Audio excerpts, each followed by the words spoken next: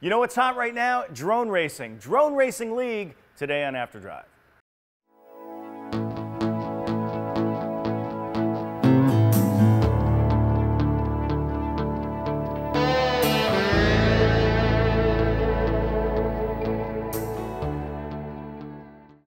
Hey, welcome to After Drive. It's Mike Spinelli, and we're talking about drones today. Drone Racing League is here. First of all, Andrew Seisloff, the new editor of Aerial, that drives drone coverage. You're going to be watching uh, and reading a lot more about drones on the drive. And also Nicholas Horbaczewski Yeah. from Drone Racing League. Um, thanks for coming in, man, because I've been kind of nerding out watching Drone Racing League videos.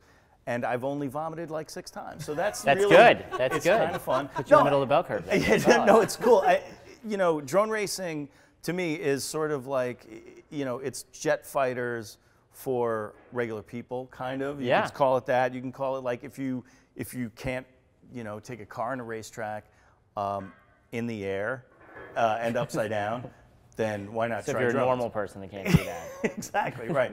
So, um, first of all, tell me about Drone Racing League, um, and then we'll get into like drone racing, how to get involved, how to actually learn how to fly a drone. That's Andrew's uh, uh, coverage area on the drive now. I'm, a, I'm all right. You're, you know, you've been doing some very good coverage on Aerial. It's called Aerial, thedrive.com slash Aerial, A E R I A L. Remember the E, because I usually forget the E. Um, so, so tell me about Drone Racing League. How did it get started? Yeah, sure. So Drone Racing League is the global professional circuit for drone racing. Okay. So we put on a series of races with the top pilots in the world. We take it around the world. We have broadcast it all over the place, and we crown a world champion at the end of the year. So it's a lot like Formula One, but with drones. basically. That's cool. I mean, obviously, it has to be a sport now because people are good at it, right? Yeah. So, how did I mean? When when did drones, as racing objects, become a thing? I mean, because you know we talk about uh, drones for filming. Yeah. Obviously, you know, there's people talk about drones delivering stuff and like maybe being, you know, leapfrogging the auto industry in uh, who, who knows how many years. Um, but what about how long has drone racing been around? How long people have been doing it? It's a great question. It's, it's a little hard to answer because it, so it started, we think about five or six years ago down in Australia. So there's these web posts about people building these really fast quadcopter drones and then putting a little camera on it that feeds a video back to a pair of goggles that the pilot wear. So the pilot can see what the drone sees. We like to say it's like sitting in the cockpit of the drone. And the minute you're doing that, you can race it in like a complex three-dimensional course, which you couldn't do before. And then over the course of five years or so, it just spread globally. So the game changer was being able to see where the drone's going because if obviously line of sight uh, gets harder and harder Yeah. once the drones get faster and faster. Yeah, I think that's it. I think there were two things. I think the the cameras and the video feed, that first person view is essential to it. And also just the technology got cheaper, it got more reliable, and you saw this convergence of, you know, these small components, first person view, small radios, and suddenly people put it all together and said, wait, we can we can race these things. Yeah, I mean, look at some of the footage, right? I mean, you like some of these race guys. I mean, I don't know. Are you are you a racer yourself? Or are you? I'm I'm a very bad racer. Okay. yeah, yeah. I mean, you know, some of the things, and we'll talk about like some of the moves. Yeah. Because it's it's mind blowing that first of all, um, that you can have the sort of presence of mind to Yeah. make the drone do that while you're watching through a relatively low res camera. yeah. Um, and uh, and also that uh, you have the kind of situational awareness to get a drone to flip so that you can corner better. Yeah. Like just this weird stuff. So Andrew, you you've been doing this kind of drone, drones 101 on the drive for a while. Yeah, and I've been flying about three years. And I also, I just want to say that that was like the most succinct way I've ever heard anyone explain drone racing before. I've never done I'm it like- before. First take. That was like Unreal. amazing, Yeah. you know, because usually I'm like, well, there's a camera, but it's like not for filming. but there is a camera that feeds into like a low latency signal. Um, I love it. I only got into racing about a couple years ago.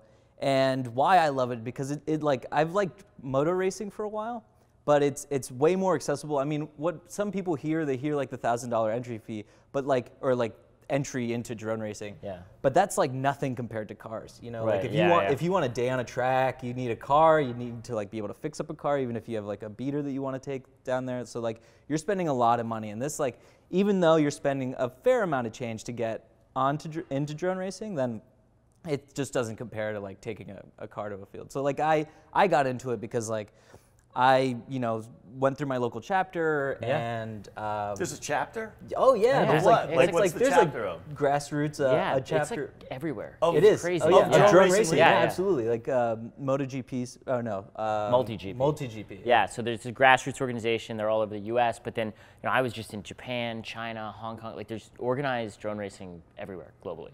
Yeah.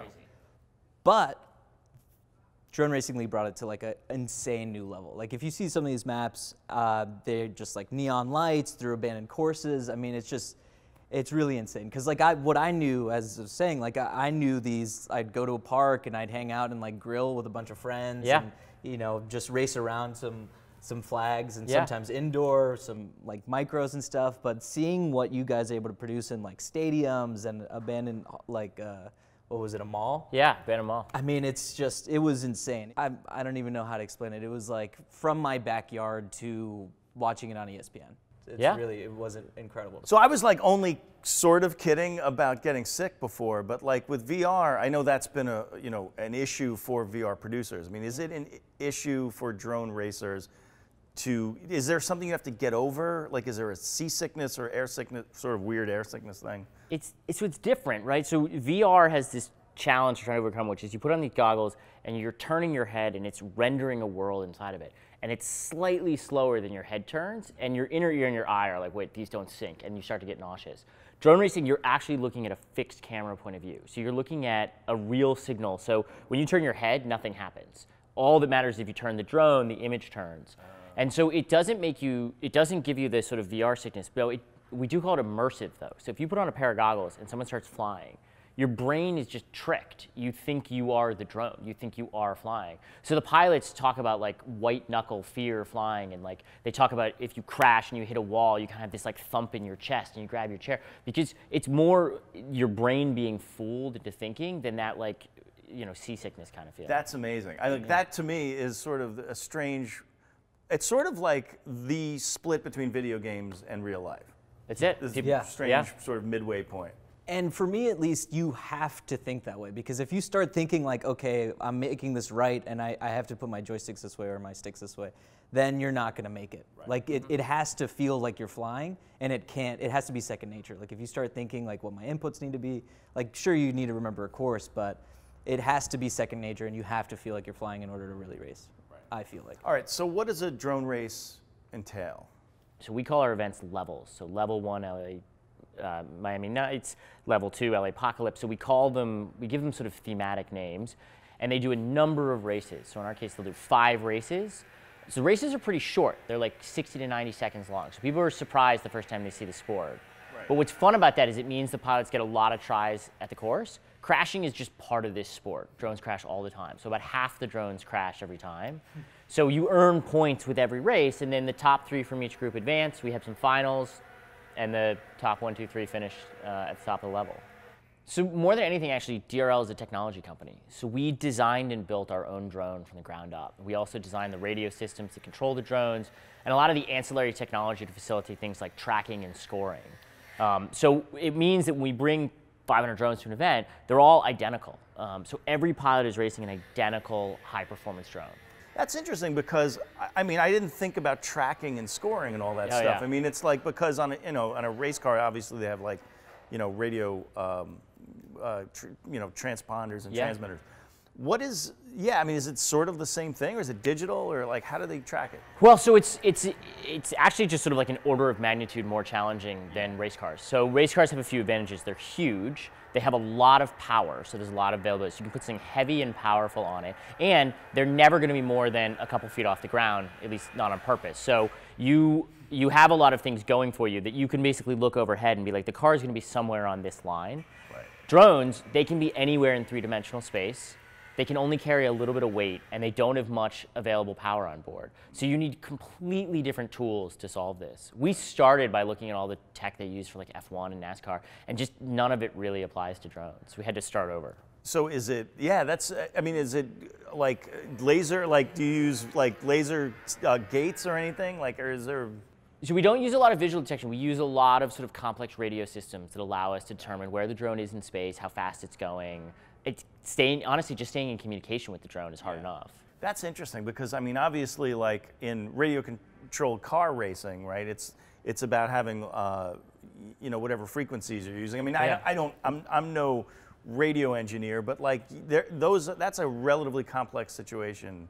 Oh, it's, Uh, yeah, it's crazy. yeah. it's crazy. I mean, we have a bunch of like patents on radios. Like we had to basically throw out the rule book on on radios, even drone radios, and start over. And you hear this sound obviously outside. We wanted to bring some drone ambiance to the show. No, I mean that's we, we are in Industry City in Brooklyn, and as a city of industry, you know what better place to put your studio than someplace where they're doing all kinds of work. Anyway, so sorry about that, but um, so In terms of uh, radio, are you using your video transmitter to also send this kind of radio signal, or is it part of like the actual like controller that you're using? So or- we we sort of redesigned the radio system from the ground up. So we designed a custom radio system that, that manages all our communication to and from the drone. So there's two primary radio communications with the drone. One is the video signal coming off, and the other one is the control uplink. But then there's sort of an ancillary set of data that needs to come off the drone about sort of you know scoring and positioning and tracking and, and stats on drone performance. So we integrated all of that to facilitate it. And it's why I mean the main thing we did is you know you'll see our races and we'll go to Dolphin Stadium, we'll fly around the stadium bowl, through the concourse, down the tunnels underneath, and that what our system allows us to do is those huge, elaborate, long distance courses through buildings. I mean, that is amazing because like when I go out and fly, I know very well when my video starts to break up Yeah. and, and what my limits are. And I have seen concrete as a Yeah. big interference. Yeah. And Yeah, well, so how do you get started learning how to race a drone? Because I would imagine that like it's an entirely new set of skills, but it has to start with you kind of learning the controls, but then the, you have to kind of take that, you know, just the basic skills of operating a drone and take it to that level where you can get through those gates as Right. quickly as possible and have the situational awareness to even Yeah. know that you're, you know, where the, zo- the drone is in space, right? Yeah. So I think uh, there's two ways, and it depends on how you like to approach things. Uh, I think a simulator is a really great way to start, and um, basically affords you to be able to crash as much as you want without actually like breaking. Wait, are you talking about like a digital simulator of a drone? And Exactly, and it actually you connect, literally connect a drone. The exact, I mean, there's a couple ways to go about it. If you're just starting off, there's uh, an Xbox controller you can connect to your PC, and then you're able to use an Xbox controller to kind of mimic the same controls. But a lot of simulators, most simulators actually allow you to use your the same transmitter that you're using out in the field. So it feels as pretty realistic. I mean, there are it's kind of mechanical and like physics can it vary between simulators, but that's probably I think the best way. Like if you spend three to five hours on that, you'll be a competent like you'll be able to race a lap. So one of the challenges of drone racing is people always say to me, "How do I get into this?" And a year ago, the answer was, "Well, you got to order this kit off the internet, and you're going to build this drone, and you're going to destroy it the first time you try to fly it, and you have to rebuild." And it was just awful. Like you didn't want to send someone down that path. So, So we fun. actually built a simulator at DRL. So it's free on our website. You can download it. You Oh, can play it with an Xbox or PlayStation controller, or if you have a drone controller, you can plug it in. And it teaches you how to fly a racing drone. So we spent a lot of time with NASA engineers helping us with a physics engine to make it really true to life. So if you spend a couple hours on our sim, you will you will be able to fly a drone. And this is actually how I learned to fly a racing drone. I destroyed a drone, and our engineers were like, "We're, we're not going to do this. Let's come up with a better way." We made the game, and then I flew it for a couple hours and suddenly I could fly a drone. Um, and we've actually taken it to the next level. So um, we did a contest last fall where we invited anyone in the U.S. to download the sim and try out. We had over 100,000 people download the sim, and they could all try out online. And then we took the top 24 people and held a live esport event.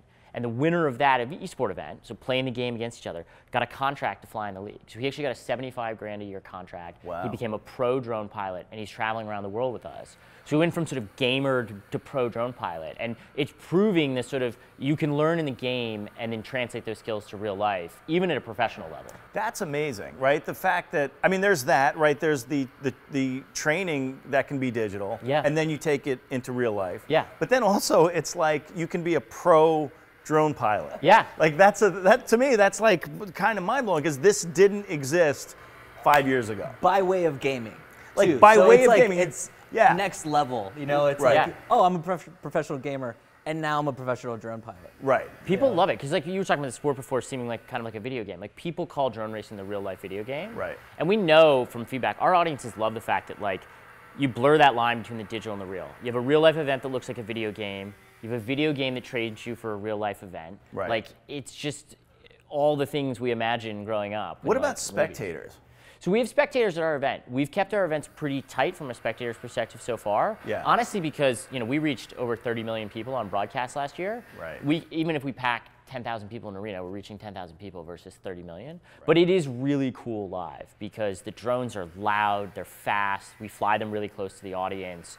We give the audience goggles. You can pull on a pair of goggles and tune into your favorite pilot and see what that pilot sees during the racing. See, that's cool, right? Yeah. So that's the, you know, I mean, that's sort of where the next level of auto racing has been. We've been sort of, you know, brainstorming that for uh, how many years, right? Yeah. Talking about how you can make auto racing better. And drone racing kind of leapfrogged that Yeah. and is doing that kind of stuff. That's pretty cool. What, wh- where can you see it on uh, broadcast? So it's it's on ESPN uh, in uh, North America. So anyone with ESPN, tune in. The actually the uh, 2017 season starts June 20th at 8 p.m. So tune in, check it out. Beginning of a new season, bigger courses, faster drones. It's going to be awesome.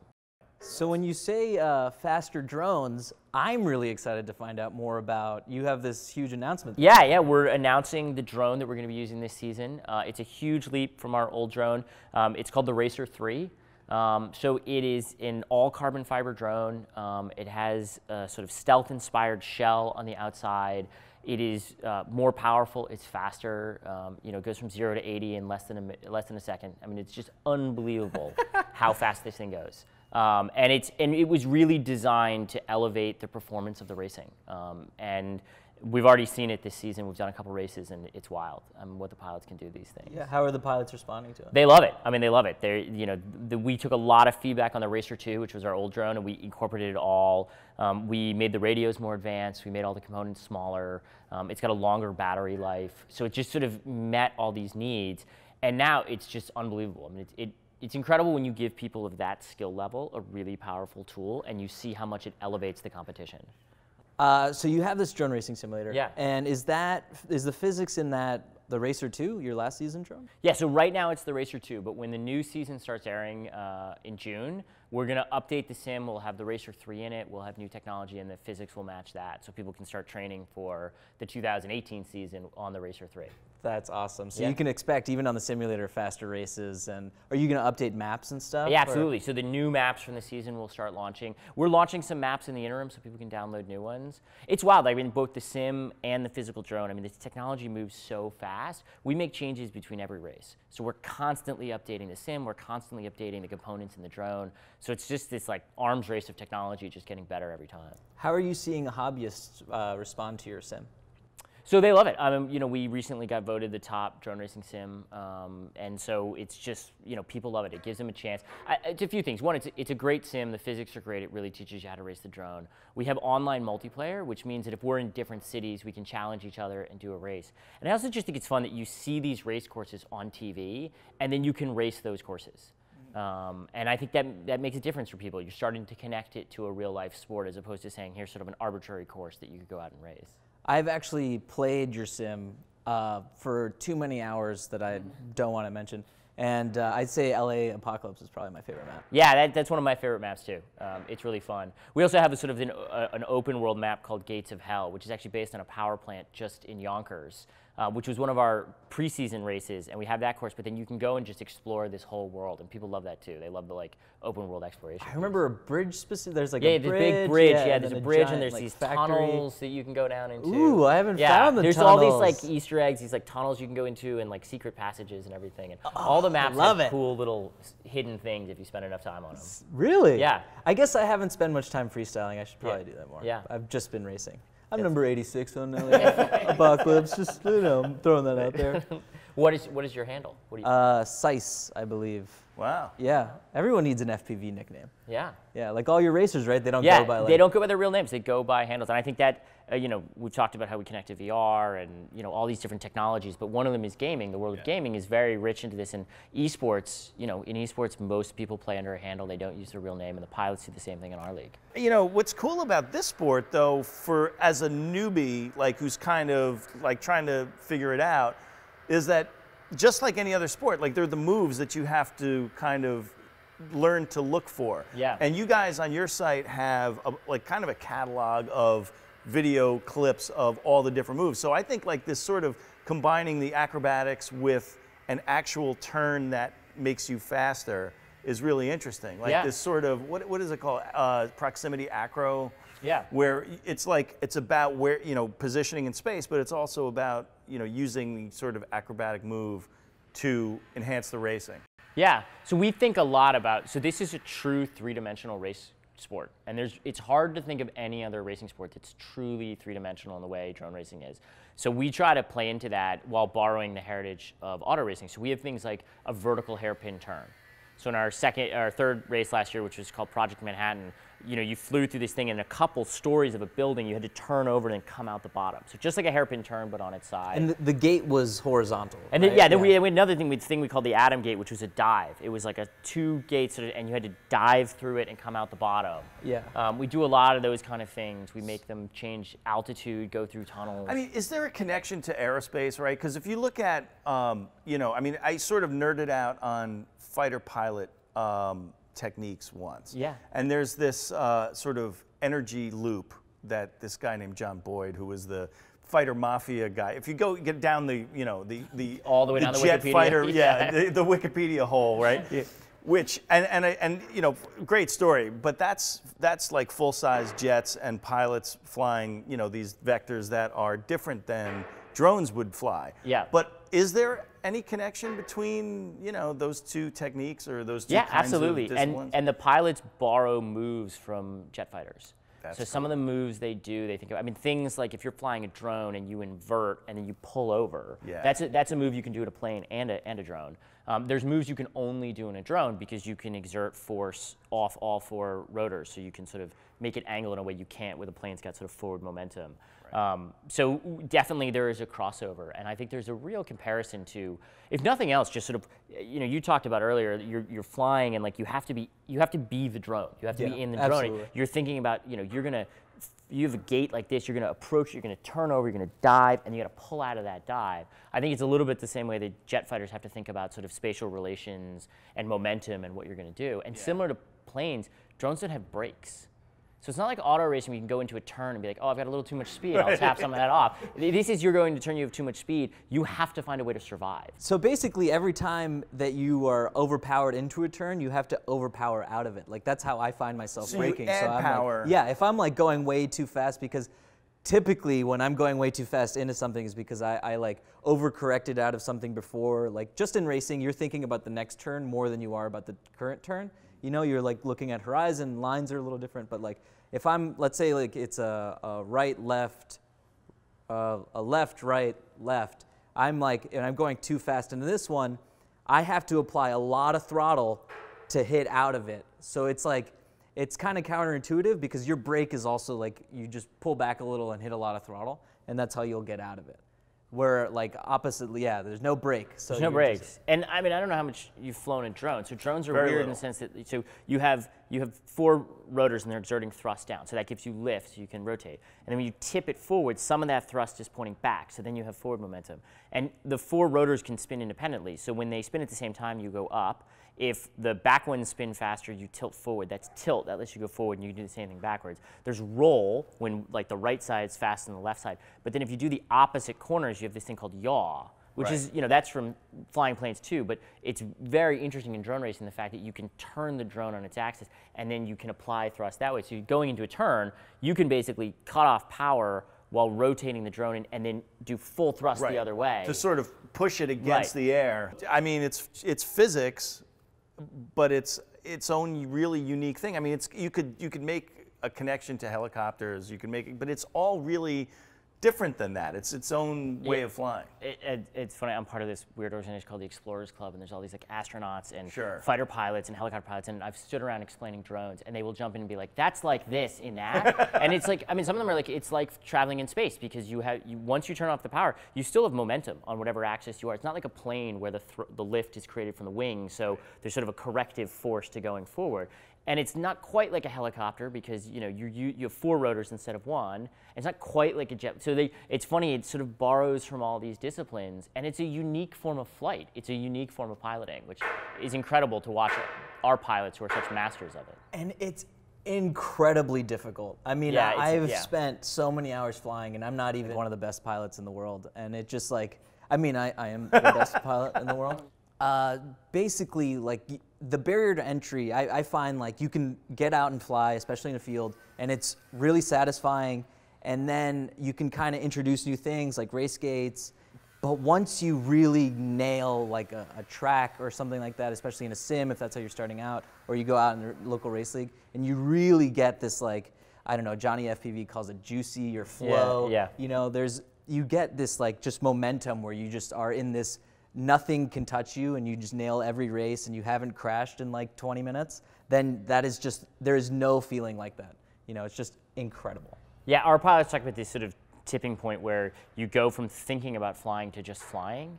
And that's the moment that they say you feel like Superman or you feel like a bird. Like you actually just get to experience what we all sort of dream about, which is just total free flight. Like you could just fly off the air and go around. And, and they say once you're kind of intuitive with the drone, you can really have that sensation. And it takes hours, it takes a long time to get there, but it's really rewarding. So right now, you can go to our website, drl.io, download the sim, start training, start your career to be a pro pilot. Naturally. I see you're ready. I'm ready. and then uh, June 20th, 8 p.m. on ESPN is the kickoff of our 2017 season, which is called the Allianz World Championship. Cool. You know, I'll be watching, and you know, Andrew will be watching. The drive.com slash Aerial is your beat. Andrew Seisloff, uh, editor of Aerial, and Nicholas Horbaczewski from Drone Racing League. Thanks for coming in, man. And I'll see you guys next time. That's it for After Drive. Adios.